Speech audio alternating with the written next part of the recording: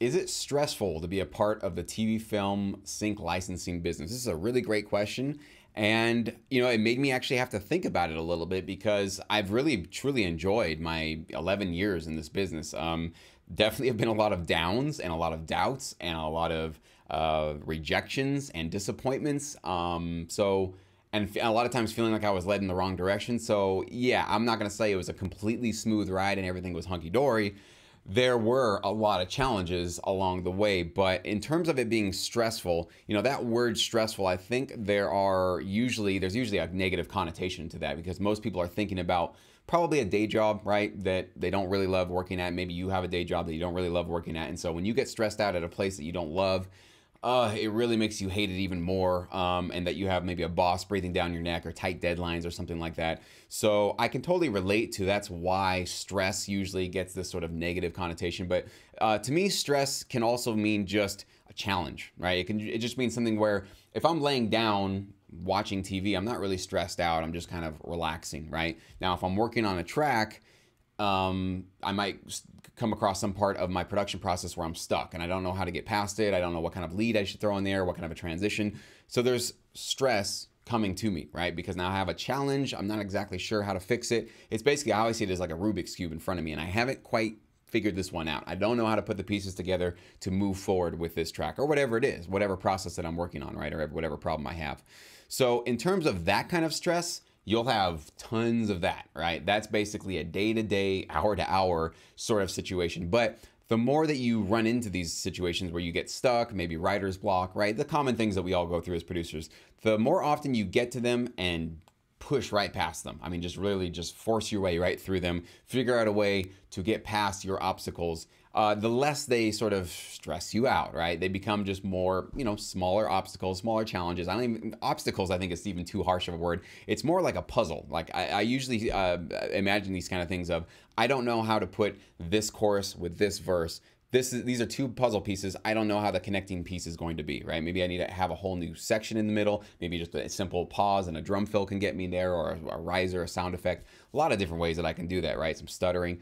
So I just see it as a puzzle that has not been completed yet, right? Just as simple as that. And when I view it this way, it's not um, stressful in a negative way. It's stressful in the very positive way that I feel invigorated by a challenge. And maybe just, I think maybe musicians and producers, we probably all share a little bit of this where we are invigorated by the sort of constant challenge of music. Music is one of those art forms that you can't really put your hands around and say, I have mastered it, I've got it all down. Uh, every day you're getting schooled. Every day when you think you've got everything figured out, something teaches you. No you really could go even above and beyond. You could experiment with a new way to produce music. You could try a new sound. You know there's always something that can basically teach you and school you uh, and to improve your craft. And so that's what continuously has drawn me back to this business for 11 years is number one, I love just making music, and that's what I want to do every single day. There's really nothing else I would really like to do for the most for most of my time, right? But number two, what's really cool about the sync licensing business is I don't have to be pigeonholed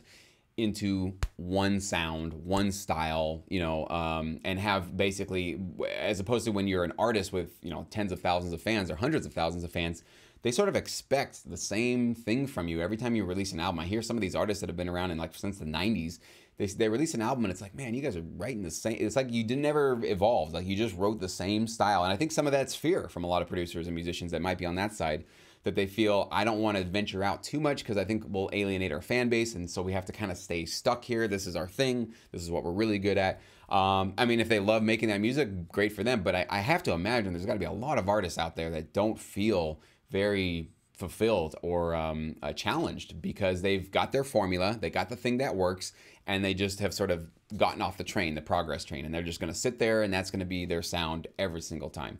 Um, but what's really cool in sync uh, licensing is that if you have, let's say, um, I don't know, even you do something just hip hop, right? Hip hop, you do, uh, but even within hip hop, you can do trap, you can do orchestral hip hop, you can do rock hip hop, you can do minimal hip hop, you can do tension hip hop. I mean, there's like so many different styles that you can go in. And so if you're getting a little burned out on one style or one sort of approach to hip hop, just switch it up. You know, obviously talk to your library that you're working with and try to find out if it's going to be licensable, useful for them.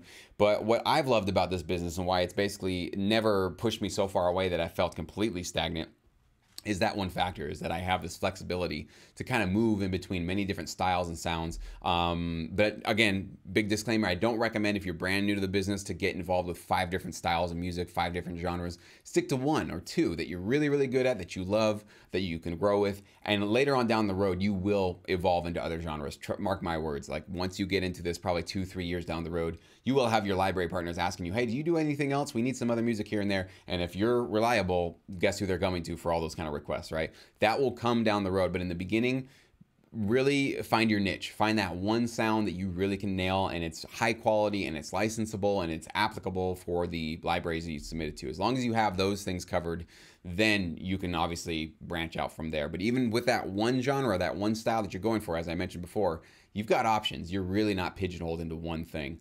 Um, in terms of the bigger stress points, it's really about the royalties. I mean, that's really been when I think back on the times that I've really been um, the most invigorated and the most demotivated.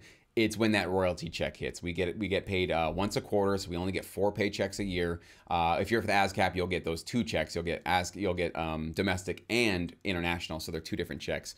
Uh, but with BMI now that I've been a member with, we get one check a quarter, and the night before that check hits, I'm either, I mean, I'm always excited, but then there's always this like gut, you know, uh, sort of burning feeling in the bottom of my, my gut that it's just going to be disappointing because I've had so many of those in my career, especially in the first couple of years when I was expecting to see larger numbers, didn't quite see them as fast as I wanted to. Okay. Um, and then some quarters, I woke up and saw way more money than I ever thought I'd ever earn uh, in licensing. And so it's like, you know, I've had just sort of the extreme ends of both. And of course, you have a lot in the middle that are like, okay, that's pretty good. It's a little bit on the disappointing side, but not bad. Or that's actually nice. That's a little bit bigger than usual, but not like, oh my gosh, incredible. But getting those royalty checks is when I think back, those are the times where I really had to stare in the mirror for a couple of minutes um, and really think about if I wanted to keep going with this business. That's probably been the highest stress point of this industry is you're, you're cranking out and I this is why I empathize with all of you guys that are brand new to this because you're cranking out hour after hour month after month for maybe a year or two before you see really any money you might see some upfront consideration fees but really those back end royalties they take a long time to finally start to generate and pile up in your account and when you've been working, let's imagine you're working at a job for two years and you get your first paycheck and it's, you know, 300 bucks, 500 bucks.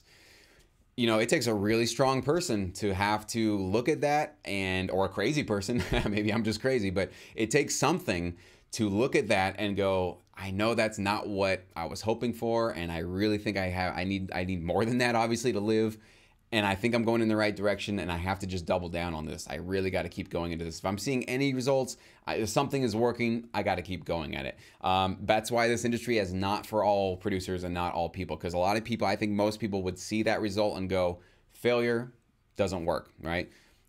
I don't know if I can say they're right or wrong because I don't know if their music is very licensable. I don't know if they're partnering with great libraries. I mean, there's so many other factors, or how often they're submitting their tracks to the libraries and getting them distributed, right? So there's so many factors on there. So if you're not approaching this light, this this, uh, uh, this industry the right way, maybe after two years, if that's all you're seeing, it might be a sign that either you really got to radically shift things up, or maybe this is just not the industry for you. It's just not working out for your skill sets and for your your schedule. That's why in all of my videos, if you guys have been following me for a while, I really try to not get you guys so steered on how much money can you make? How big are the checks? How this, how that? That stuff is, um, I know that's motivating, all right? I don't want to discount the fact that like looking at your future income stream is not, you know, that, that's definitely going to be a motivating factor.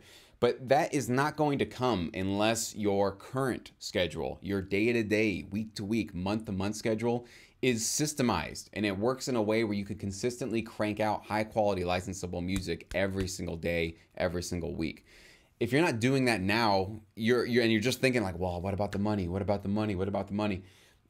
Just know this: it is certainly possible to make full time income with sync licensing. That is definitely possible, and and then some. There's definitely people who are killing it in this business. You know, six figures plus. That's not the issue. The issue, I think, for most producers, especially brand new to this, is not getting ahead of yourself, not putting the cart in front of the horse and thinking about all of that stuff down the road, but really focusing on what you can do in your life right now. Take ownership, take responsibility, uh, accept the power that you have right now. All of that other stuff, a lot of that's out of your control, a lot of that's out of your power. But what you do with your day to day life and your schedule and your production, that's not. So, um, anyways, I know I got a little bit off topic here about the stress of this business. So, but I hope you can see just, you know, by the way that I talk about it, it's it has it has only added to my life enjoyment this entire business it has not uh, been a complete you know downer because i've heard of and i've definitely seen those interviews with artists and bands that are talking about going through the record label system and feeling that their soul was ripped from their hearts and they just have no creative energy left anymore and they're just beaten and broken on the ground. I mean, I, I, I hate to hear those stories. It's very common though. Um, I don't feel anything like that. I don't feel any, nobody has ripped anything from me. If anything, I've only been enriched by this industry. I've only been improving my production skills, my knowledge of music, my uh, just love and appreciation for the craft of making music. And then also just feeling that sort of competence and confidence of my music is professionally being placed. I'm making my living from my music. You know, I don't know. Again, it's hard for me to even put any of that into words, what that really feels like. But you know, imagine what it would feel like for you. That's what it would feel like. Okay. It's just a really, really cool thing. So, anyways, hope that helps uh, answer that question. And I hope this either encourages you to keep going with sync licensing, or maybe it scares you completely off uh, that you don't think this is going to be something you want to spend a couple of years uh, pursuing. So, let me know. Put a comment below. Did this encourage you, or did it kind of scare you off? I'd like to know what you guys think. Thank you so much for watching. Leave a like, please. I do appreciate that.